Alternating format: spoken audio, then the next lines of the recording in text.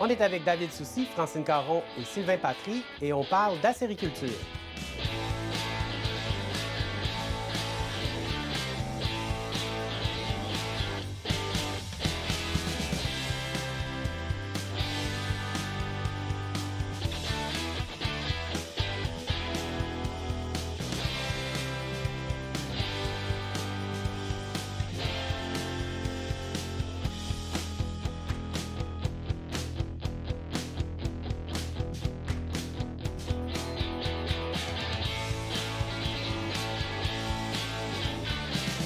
L'érable est une religion.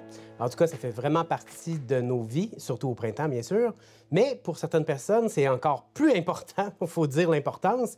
Euh, J'aimerais savoir, comme, premièrement, comment ça a commencé dans ta vie, l'amour de l'érable? Par mes parents, parce que des c'était des agriculteurs, des acériculteurs aussi. Puis moi, ce qui m'intéressait, c'était pas tant de manger le sirop, mais comme savoir c'était comment ça faisait pour arriver là. Donc, quand tu étais petite fille, Oui, ça t'intéressait pas, ça t'intéressait pas tant de manger le sirop, mais de comprendre comment ça fonctionnait. ouais, pas tant. Wow, OK, Ouais. ça c'est rare. Puis à un moment donné, ben, le Centre des services scolaires euh, du Fleuve et des Lacs a formé une cohorte pour avoir un programme en, produ- en formation professionnelle, production acéricole. Fait que moi, ben, je me suis inscrite. Puis j'ai travaillé là pendant 22 ans. Fait que j'ai vu construire l'école. Puis j'ai j'ai enseigné aux gens Ouais. comment devenir. Wow.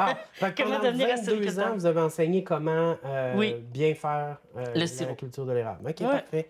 Puis de votre côté, euh, tout érablière. Tu n'as rien du tout, là. Oui, nous autres, c'est une entreprise familiale. là. Présentement, le printemps prochain, on va opérer environ 265 000 en taille. 265 000 en taille. Puis là, on a comme 20 000 en taille d'agrandissement qu'on va avoir. Ça fait... Mais euh, vous dites que c'est une entreprise familiale, mais je veux dire, au départ, que, que- que quand vous étiez jeune, c'était pas 265 000 en taille. Ben, tu sais, quand j'avais 10-12 ans, mon père avait quand même 4-5 000 en taille, puis c'était avec deux chevaux. Oh! Puis mon père, dans les années 95, avait 125 000 en taille. C'était le plus gros producteur de sirop d'érable au monde en ce moment-là. Oh! Ça fait que, vois-tu, qu'il y avait l'esprit entrepreneurial. Puis clairement. que là, c'était un peu là. Puis on est rendu avec la troisième génération avec la relève, mes garçons. Wow! OK, puis les garçons sont intéressés. Oui, les trois sont, in- sont impliqués dans, dans l'entreprise. Wow, c'est vraiment, euh, c'est rare, c'est le fun.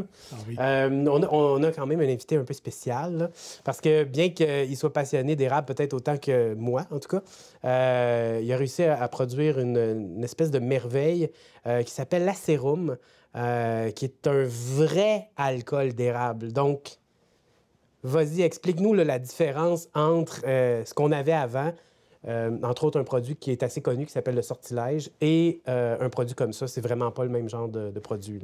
L'avantage de travailler l'érable, c'est qu'on on va vraiment diversifier nos saveurs dans, dans qu'est-ce qu'on voit. La sérum, c'est une appellation contrôlée qui a été débutée par quelques distilleries il y a environ trois ans.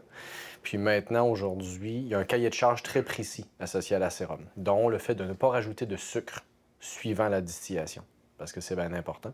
Donc, ce qu'on voit à l'intérieur d'une bouteille comme celle-là, c'est du sirop d'érable ou de l'eau d'érable euh, passée à l'osmose qui va être fermenté, distillé, puis par la suite vieilli ou non euh, en fût de chêne.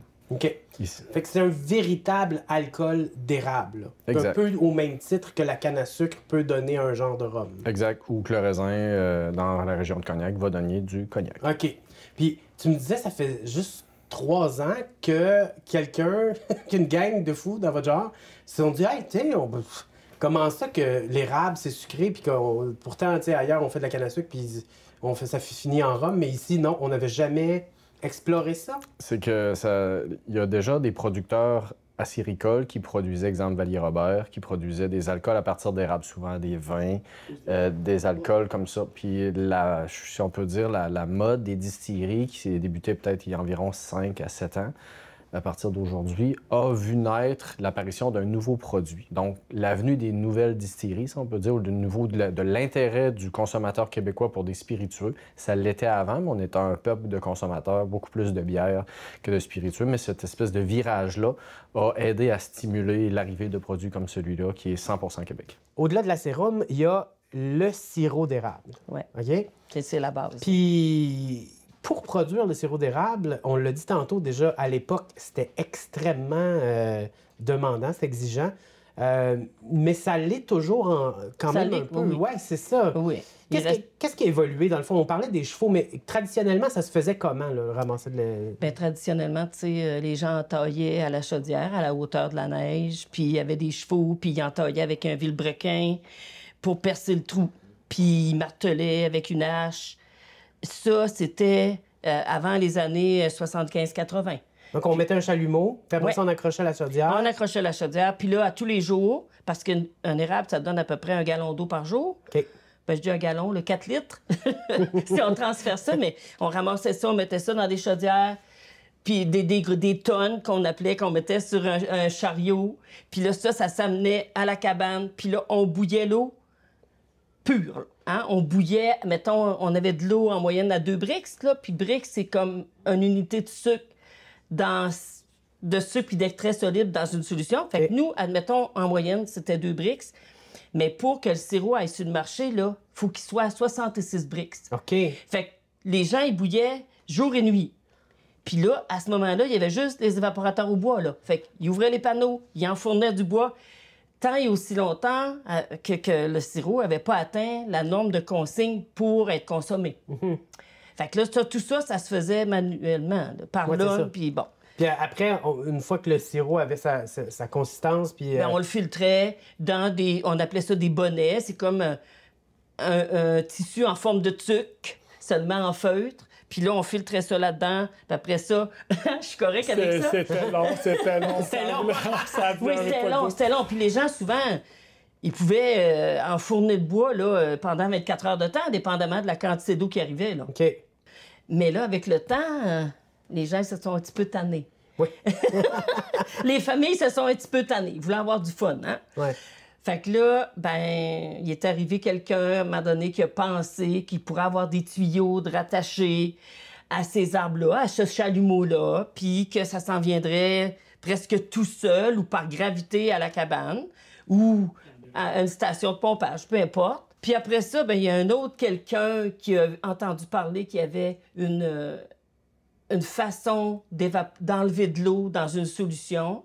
Puis à ce moment-là, ça servait pour dessaler l'eau de la mer. Ouais. Puis lui s'est dit Ah non, mais moi, si je fais le contraire, là, que je rejette l'eau, puis que je garde le sirop puis les minéraux, Ouais. je vais avoir moins de temps de bouillage à faire. Ouais. Fait que là est arrivé la- la con- les concentrateurs. Si tu diminues le temps de bouillage, ben t'améliores ta qualité de vie. T'as sûr. mis- Le, ton travail. le procédé est relativement simple. C'est la même affaire. On parle de nanofiltration, c'est un millionième de pouce. Ça veut dire que la goutte d'eau qui n'a pas de sucre, elle, elle va passer. Puis le, le sucre, lui, passe pas dans cette. Ah, mon On parle d'un millionième, c'est l'épaisseur d'un cheveu. Je ça. savais pas que ça se faisait et que ça existait. Donc, à, à l'époque actuelle, il y a des filtres, des micro-filtres. Puis dans le fond, le- le- le- on réussit à enlever l'eau sans Ah intérêt. Puis déjà, ça- on a déjà une bonne partie du travail de fait. C'est ça, juste par la grosseur là, de la molécule d'eau puis la molécule de sucre qui passe pas. Ça, c'est bien beau, là. Puis on est rendu dans le futur. Mais dans la vraie vie, là, ça, ça va tout de même, ça, que les tuyaux sont là, puis merci, bonsoir, il y a la moitié qui est évaporée, puis on encanne ça, puis on envoie ça euh, au Japon. Ben, ça, va, tout- ça va tout de même, mais il y a plusieurs étapes. hein.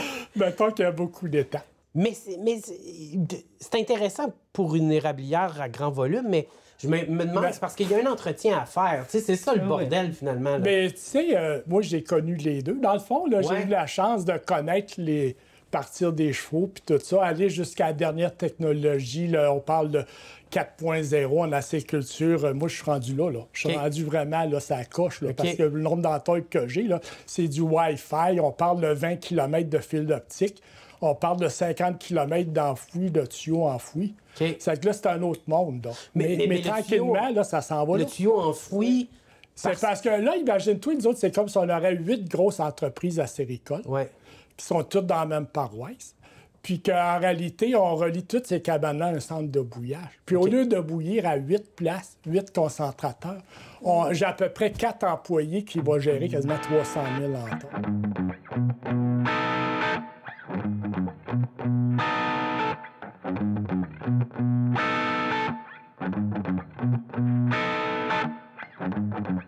La sériculture, tout ce qui a rapport avec les produits d'érable, c'est dangereux. Moi, je peux mettre du sirop d'érable sur n'importe quoi. Puis c'est pas weird. On dirait que ça fit sur tout. C'est pour ça que c'est dangereux. C'est tough de pas mettre du sirop d'érable sur quelque chose. tu sais. Tu peux tremper des pogos là-dedans, puis c'est même pas weird. Il y a une affaire qui est weird avec le sirop d'érable, c'est c'est l'extraction du sirop d'érable. Je me mets à la place de l'arbre, puis euh, on dirait que c'est- moi, personnellement, être un arbre, je serais comme Yo, euh, what the hell, là?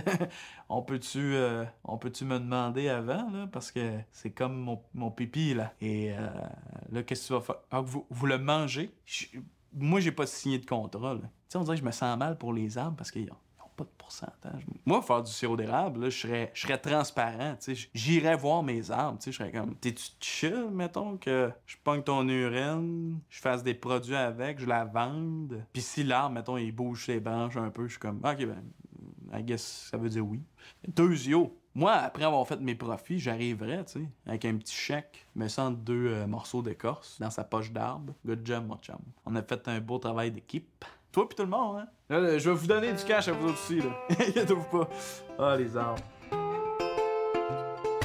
Tantôt, vous avez parlé de des différents euh, des différentes sortes de goûts qui peuvent que- qui peuvent être apportés par le sol tout ça puis c'est hallucinant parce que ça c'est c'est du terroir là c'est classique euh, vinification justement là c'est c'est vraiment quelque chose qui a été prouvé puis on, on peut y goûter aussi on le Oui. voit bien là ça Ben, il ça existe, un- il existe, tu sais, dans le, dans le vin, il existe une roue de saveur, mais dans le sirop d'érable, il existe une roue de flaveur. ouais ouais ouais Ça existe avec la saveur de vanille fruitée. Mais on aurait pensé que ça, ça aurait été euh, strictement une question de, de temps, puis de conditions climatiques, puis Ah ben oui, mais il y a- y, tout ça. Là. oui, parce qu'en début de saison, tu vas avoir un goût de bois. Pendant la saison, le goût va changer. Le meilleur sirop va être là, il va être plus euh, agréable, vanilleux, peu importe. Puis en fin de saison, c'est un, un goût de sève.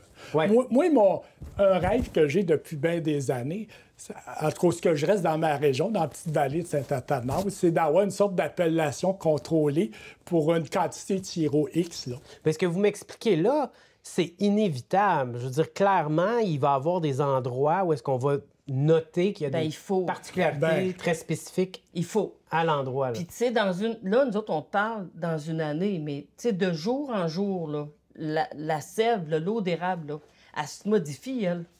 Avec les conditions climatiques, avec la température de jour, de nuit. Puis, tu sais, l'érable, là, il nous donne de l'eau le printemps, mais ça y prend quatre saisons pour, faire, pour préparer son eau. Ouais. Puis s'il y a une de ces composantes-là qui, qui fait défaut, ben ça fait comme le printemps passé. Là. On fait une saison à 53, 54, 55% de notre production normale. Ouais, ouais. Fait que, tu sais, puis à chaque jour, admettons qu'on on oublie Sylvain avec son évaporateur au granule, puis qu'on oublie l'école avec son évaporateur à l'huile. OK?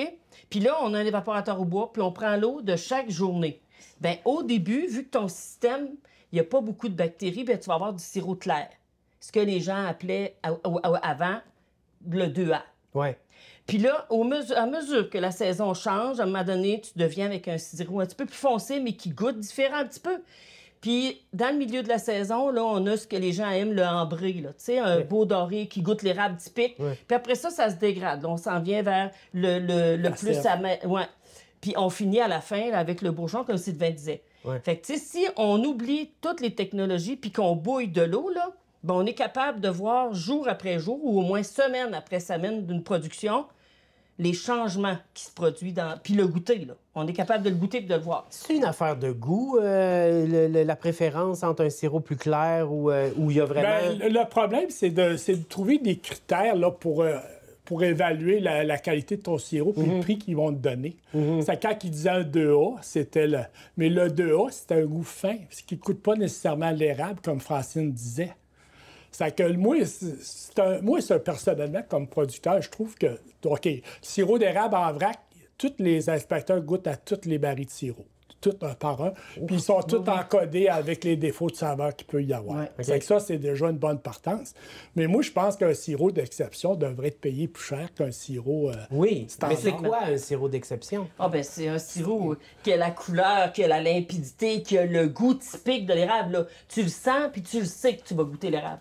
Moi, ce que je voudrais, c'est d'arriver puis jouer avec les paramètres sur mon évaporateur, sur mon concentrateur, Mhm. euh, faire vieillir mon eau un petit peu pour euh, contrôler le sucre invertissant. C'est que c'est toutes des choses qu'on n'avait pas de contrôle, mais moi, j'essaye euh, personnellement d'avoir ces paramètres-là puis les contrôler pour avoir un produit que je voudrais Ben oui, développer. puis on pourrait même s'imaginer que certains sirops dans l'avenir pourraient avoir une signature d'un Oui. producteur, tu sais, qu'on sait que Ben, d'un producteur ou d'une région. Ouais, ouais, ouais, Parce qu'on sait que, tu sais, le printemps passé, là, ça n'a pas été une bonne saison au Témiscouata, mais ça n'a pas été une saison pour l'ensemble du Québec. Mais oui, il pourrait avoir. Puis moi, je pense que les lettres de noblesse là, de la sériculture, ils vont passer par ça. Par un produit signature pour une région, pour un producteur, peu importe. Parce que les gens, ils l'aiment, le sirop d'érable. Tu sais, t'as beau pas en faire, mais ça te coule d'un veine pareil. Hein? On est Québécois, là. Ouais, ouais, ouais. Hein? C'est naturel pour un Québécois de consommer du sirop d'érable. Exactement. oui, ben oui. tu sais, Puis à plus, grand, plus ou moins grande échelle, dépendamment des gens, mais il reste que pour nous autres, là, Ça nous amène à la transformation, puis moi, j'aimerais savoir euh, comment ça a starté l'idée de dire, OK, mais on pourrait faire ça. Euh, euh, est-ce que c'est... parce que je sais que vous êtes regroupés, bon, mais, mais c'est à partir de où euh, l'idée de faire un acérum avec ça? Euh, je, je peux parler pour notre distillerie, la Ouais. distillerie. Dans, dans notre cas, à nous, on est. Puis ça, ça a été un drôle d'adon. Dans le fond, on avait déjà prévu pendant l'année de commencer à produire de l'acérum. Puis on, on s'est ramassé avec une rupture de stock de mélasse, parce qu'on fait aussi du rhum à la distillerie. Puis euh, le 1er janvier, on a pris la décision tout simplement de dire OK, ben c'est, on, on allait le faire 4 à 5 mois après. Puis on a dit c'est là que ça se passe. On commence à fermenter. euh, C'était un test. Ben euh, oui puis non, parce que pour nous, on connaissait déjà la fermentation des sucres. Parce Ben que dans, dans le marché des distilleries au Québec, on a, il y a trois, il y a une façon, il faut la distiller certes, euh, puis certains d'entre nous fermentent. Donc la fermentation, si on le part par exemple à partir d'une mélasse ou d'un sucre, euh, il y a une façon de travailler qui va être différente de celle de travailler avec du grain. Autant dans les, minéraux qu'on va y intégrer, autant dans les paliers de température, dans les types de levure qu'on va utiliser. Dans le cas de la sérum, nous, on avait déjà une habitude ou une connaissance associée. Donc, on, on était quand même très confiant de débuter l'utilisation du sirop d'érable. Et comme monsieur l'a mentionné tantôt, ben, du sirop d'érable, là, c'est très coûteux. Tu sais, Chez nous, c'est probablement le produit qui coûte le plus cher à produire parce que juste à l'achat, euh, c'est c'est très dispendieux. Est-ce que vous avez calculé euh, combien ça allait vous coûter ou combien ça allait revenir au consommateur la, la- Oui. la bouteille, puis vous êtes dit c'est quand même Oui, dans le faisable? fond, avant, avant chaque opération, nous, on fait toujours nos, nos devoirs, comme on appelle. tu sais, Parce qu'on on le sait, une bouteille de spiritueux, c'est à peu près à 70 des. C'est de la taxation, puis le restant, c'est des coûts de production avec des matières, des bouteilles, puis de la main-d'œuvre, des bâtiments. Donc, euh, c'est ça. Fait que nous, on a regardé ça, on a regardé le marché actuel, puis on s'est dit, OK, nous, on avait déjà notre idée, notre, notre cible, de quel genre de produit on voulait sortir. tu sais. Pour nous, notre acérum, ça allait être quoi? Mais tu sais, on- aujourd'hui, on a cette bouteille-là, puis quand je dis goûte, ben, c'est exactement ce à Ah, quoi c'est je ce que tu avais en m'attendais. ta wow! Oui, oui, c'est exactement ça. Parce que moi, je voulais avoir quelque chose de, de gourmand. Malgré qu'il ne soit pas sucré, je voulais que le Québécois ait la sensation euh, d'érable, de sucre, parce que c'est très difficile dans de l'acérum de faire ressortir le goût de l'érable. Parce qu'on on pense souvent qu'un produit, tu sais, exemple, vous allez goûter du raisin de la région de Cognac, ben ça ne goûtera pas le raisin. tu sais, Ça va Ben goûter le cognac. tu sais. C'est le même principe avec le, lorsqu'on fait du sirop d'érable, vous allez avoir euh, des saveurs qui vont, qui vont lorsqu'ils sont fermentés, on- la relation avec le sucre et la torréfaction va être différente dans Ouais, le produit. ça change on la Exactement. sent, on le sent. Ouais, ben là, Oui, on- exact. OK, on, va le faire, là. Vous avez fait un mot, t'as du bon travail. on a euh, finalement au- un produit. euh, Ben, bon, la couleur. la couleur. Oui, la hein? couleur rappelle beaucoup. Par contre, est-ce que ça provient du vieillissement en barrique Oui, ou euh, la oui. couleur seulement? Ou... Il faut, faut comprendre qu'un spiritueux, lorsqu'il est distillé, il sort toujours blanc. Ben, pas blanc, mais clair. Ouais. En fond clair comme, euh, comme un gin, Oui, oui, exemple, oui, par oui. exemple. Euh, puis lorsqu'il va faire son vieillissement en fût, dépendamment du type de fût qu'on va utiliser, il va avoir, il va prendre sa coloration, puis beaucoup de caractère. Fait que c'est vraiment le baril qui va venir teinter la saveur. Ici, on travaille, nous, avec du chêne américain de première utilisation. Ben, chêne Ben, américain neuf. ça sent boisé aussi. Il y, a, ça. il y a combien d'âge, ce ce rhum-là? cet Lui, cet acérum-là, nous, on varie. Nous, on fait pas d'acérum euh, euh, avec des mentions d'âge pour le moment. Nous, la, la décision, c'est on a fait la même chose avec notre rhum nordique parce que on travaille avec euh, des assemblages. On fait toujours un assemblage de quatre barils. Donc, j'arrive dans le chai, on, on perce nos barils, on va goûter 12 barils, puis on va reprendre sur les 12 barils, Les on va faire trois assemblages de ceux-là, puis on va choisir finalement un assemblage. Donc, il y a quatre champions sur les 12 qui vont s'aimer ensemble pour faire un lot. Ben, juste au nez, la complexité est, est définitivement là parce que, euh, au-delà. Ben, premièrement, déjà, l'alcool, je, je trouve qu'il n'est pas tant présent. Là. Je sais pas si c'est juste à cause de la forme du verre ou parce qu'il s'est rafraîchi un peu. Mais il y a des la arômes de chêne américain. Tu sais, on sent les arômes de chêne américain puis de vanille, mais aussi le petit côté. euh, ouais, c'est ça. ca- hmm, mélasse peut-être, canne à sucre, Non, je sais pas, sens-tu? mais. Moi, je trouve que quand je le sens, là, moi, j'ai l'impression qu'il y a une petite odeur d'érable qui. Ben, inévitablement, Hein? hein, ouais, c'est sûr. Là. Parce qu'on pourrait pas la sentir, là, cet arôme-là. Oui, exact. On pourrait pas la sentir du tout, là, mais on la sent. La beauté de l'alcool, parce que lorsque l'on distille ou qu'on fermente un alcool, on a le choix qu'on appelle des coupes. Donc les têtes, les queues, puis le cœur. Et euh, on a vraiment différentes façons de travailler, dépendamment du type d'alambic, dépendamment de quel genre de palier de température on va fermenter nos produits. Après ça, c'est comment qu'on va le distiller, parce qu'il y a une multitude de façons. C'est pas juste une façon, c'est pas comme dire euh, play puis stop. Il y a une différente façon. Puis par la suite, le résultat de ça va venir influencer le vieillissement à l'intérieur du baril qui, lui, ici, va, être, va donner sa... Mais euh, d'ailleurs, c'est drôle parce que j'ai eu la chance aussi de, de goûter à la sérum là, de la distillerie du Saint-Laurent. Puis on voit qu'il y a une différence, qu'il y a une Oui. signature. Cela étant dit, on reste un peu là, dans, la même, dans le même esprit, mais il y a quelque chose d'un petit peu plus vanillé dans, dans, dans ta version. Oui. Je trouve que la texture est- reste grasse, mais c'est un peu moins lourd, c'est plus aérien. Le toucher de bouche, c'est plus Oui. léger. Mais définitivement, en bouche, là, justement, cette- ce côté euh, sirop d'érable, évidemment, mais un peu vanillé, là, persiste euh, assez Moi, longtemps. la cible que j'avais avec l'acérum, c'est de créer quelque chose de gourmand, mais sans être sucré. Ouais, ouais, Je veux que l'effet, lorsqu'on le refait, c'est Ah, la sensation agréable d'utiliser du sirop d'érable en cuisine. Ouais. Je voulais que ça se reproduise dans le verre, mais sans être sucré. Euh, C'est définitivement sec, là. Ça, il n'y a, pas de doute. Puis euh, des amateurs de, de whisky, euh, c'est comme, c'est directement dans leur tal. On ça. peut juste s'imaginer quand ça va, un produit comme ça pourrait, par exemple, avoir vieilli euh, Ah ça 5, va être... euh, 10, 15, 20 ans. L'avantage, c'est qu'aujourd'hui, nous, on a la chance de comprendre notre produit après deux ans. exemple. Ouais. Là, les prochaines fermentations, les prochains distillats, là, on a un bassin de baril chez nous à la distillerie. Ben, c'est la même chose avec notre rhum. Après ça, on est en mesure de s'amuser plus, de dire euh, de- je vais-tu être un peu plus funky dans mes fermentations, je vais-tu euh, travailler mes distillations un peu plus larges pour permettre que de dire ça, ce baril-là, là, il sort dans 8 ans. Ouais, Celui-là, il sort dans 12 ans. Ouais. Mais là, dans le fond, ça va être le consommateur qui va décider. Qui va décider Parce qu'il va nous dire clairement si ça, il apprécie ça, ben nous, on est après ça en mesure de faire évoluer. Ben- ça part des consommateurs, c'est sûr. C'est comme Ouais. le sirop. hein. C'est ça. Tantôt, euh, Jonathan, là, ben, je reviens juste, là, mais tu disais, tu sais, le sirop clair, là, c'est-tu populaire? Il y a des gens qui achètent avec leurs yeux, hein? Ouais. Puis du sirop euh, un peu brun foncé, ils en achèteront pas. Ouais. Eux autres, ils veulent le sirop clair, qui goûte léger. C'est pas important, c'est la couleur qui les, qui les importe. Fait que, tu sais, puis les vrais connaisseurs de sirop, là, quand tu leur parles de ça, ben, eux autres, ils font Ah, non, non, moi, je veux pas de sirop clair, là. Tu sais, je, veux, je veux un sirop. Puis, Ouais. puis tu sais, si tu parles de ça aux personnes encore qui ont les cheveux plus blancs que moi, là, qui ont le dos courbé maintenant, eux autres, ils vont te dire Hey, non, non, mais moi, arrive-moi avec un sirop de de la fin, là. Un sirop ouais, de sève, ouais, Ouais, ouais, moi, je veux un sirop de sel. Ouais, ouais, ouais. Fait que, tu sais, les, les goûts se raffinent avec le temps. puis c'est vraiment le consommateur, là. Au Québec, c'est des habitudes de consommation. Parce Exactement. on est né là-dedans. Exactement. Il y a un beau parallèle à faire avec les spiritueux parce que souvent, un spiritueux foncé va être perçu comme quelque chose de plus gourmand, de Ben quelque oui. chose de plus, euh, de plus sucré. Dans le Ben rhum, ouais. en tout cas, c'est quelque chose de présent. Écoutez, euh, gourmand, euh, pas gourmand, on va continuer d'aller à la cabane et de boire de la sérum.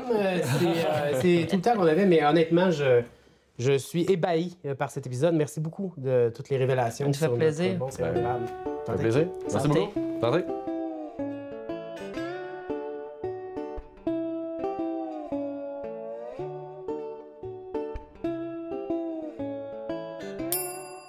On sort d'un épisode sur l'acériculture qui était hyper chargé en informations.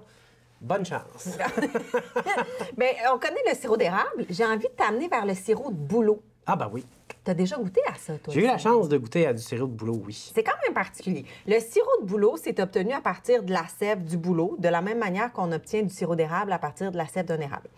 C'est le bouleau blanc qui contient une sève dont le sucre peut être assez concentré grâce à un processus d'évaporation précis. Là, je, te, je te passe les détails.